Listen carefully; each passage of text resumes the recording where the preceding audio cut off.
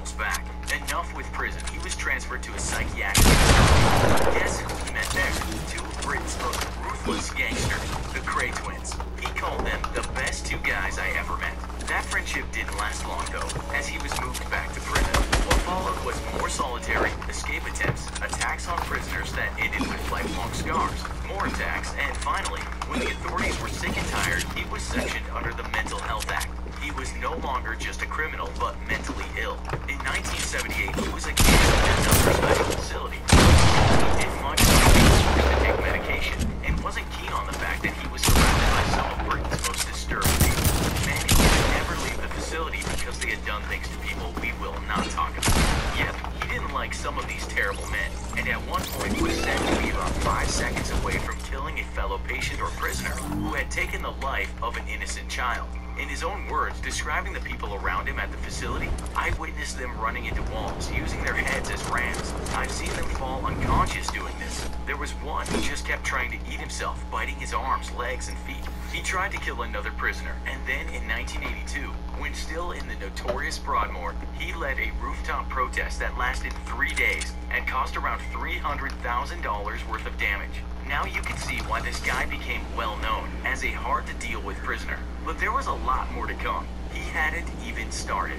He led two more rooftop protests and also went on a hunger strike. But in some ways, he found solace in writing poems, sketching, and creating cartoon strips. He even won awards for his work. It didn't stop him being violent, though. It just settled him down from time to time. Psychiatrists couldn't figure him out. And even though he was in a mental facility, he was never properly diagnosed. He once said asylums are crazy places with crazy rules. If you're not mad when you arrive, you are when you leave.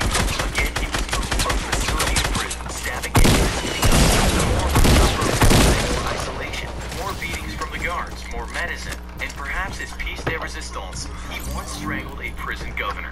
After that, Holy crap, bro. Like, how are you so low that you'd use a fucking rocket for kills? Especially when it's 13 to 19.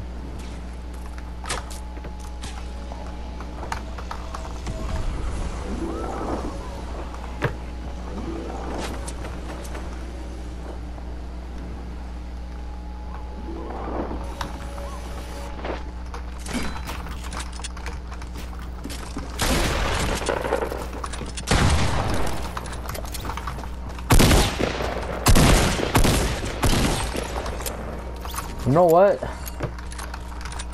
I'm gonna have to use a rocket too. Hypocrite.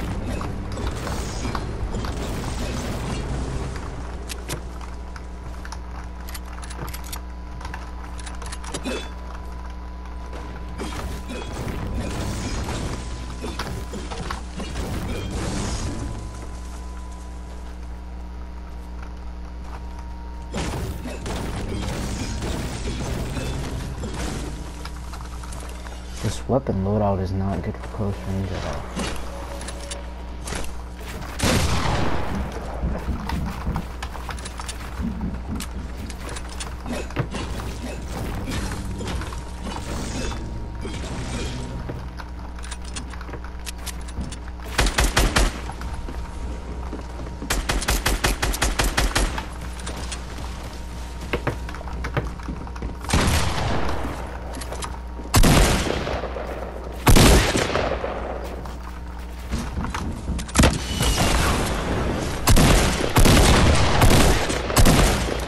What are you building?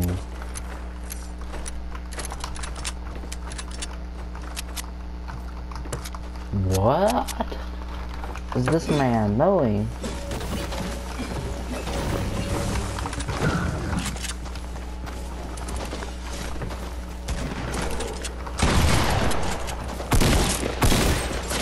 Oh, ouch.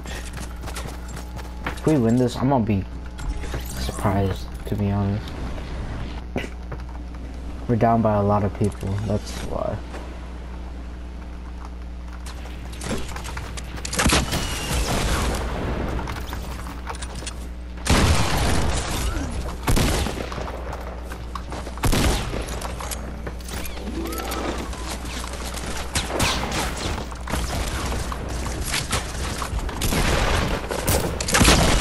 I'm killing you and me, bro. Ain't nobody else gonna kill me. I'm about to kill both of us. We're gonna win this. I we're gonna win this. We're gonna freaking win this, bro. I don't care what nobody says. We're about to win this fight. No matter how many of them there are.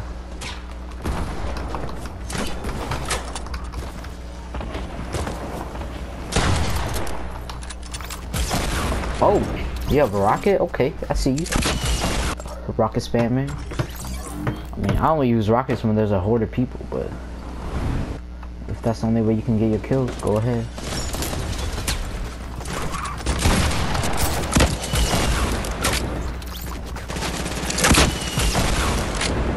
Give me all that. Give me all that, bruh. You would take rocket ammo.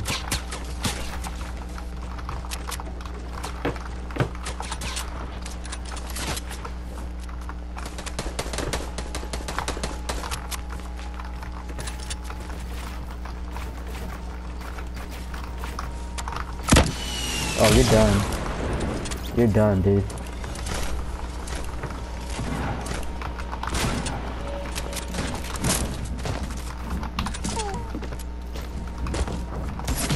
Yeah.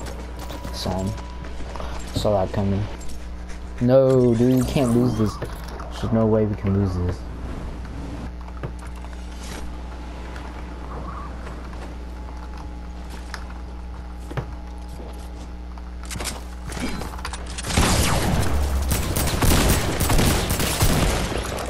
Let's go. Let's go. We take dubs, don't we?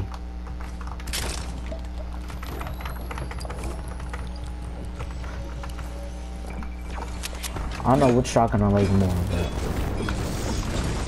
I'm gonna use both of these.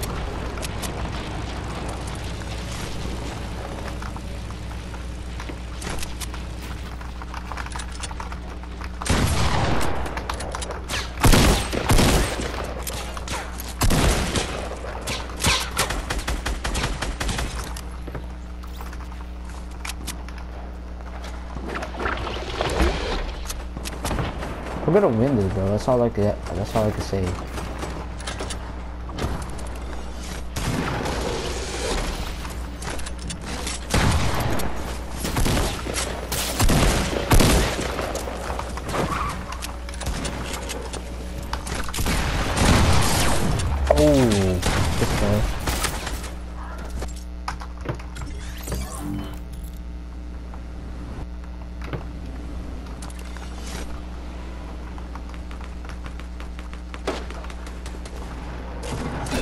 Gonna win this, bro. I don't know.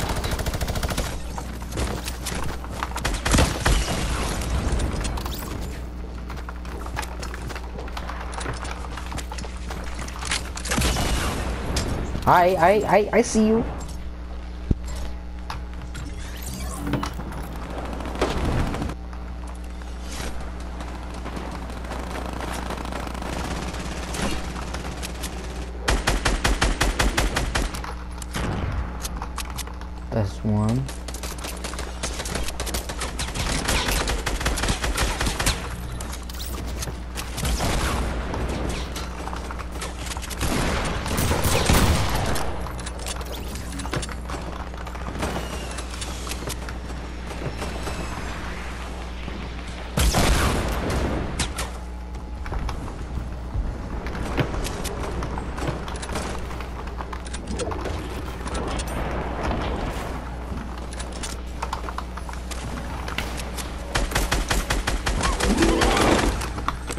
Let's go, let's go. Take a noob. Let's, let's go, let's go. Another one. Oh. I'm special.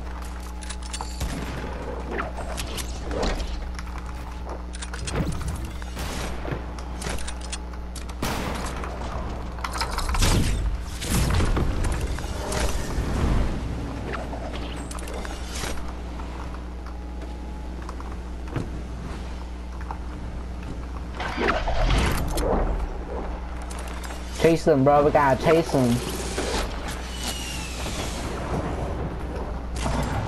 So many kills, dude.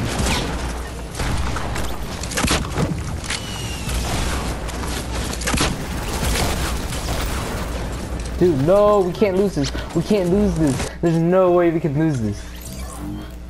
I could have got so many kills right there, but I didn't freaking build. Can't lose this, dude.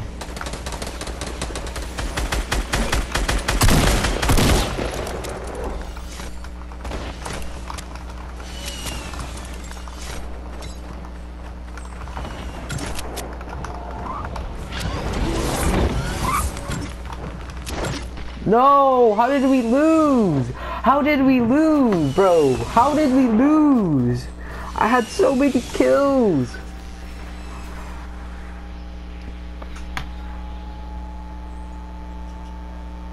Someone tell me how did we lose, bro? I had so many kills. How did we lose?